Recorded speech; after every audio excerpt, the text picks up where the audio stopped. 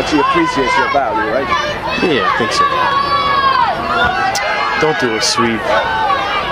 Oh, Lord have mercy. Fake that, fake that. Come on, coach. Give the kid a chance.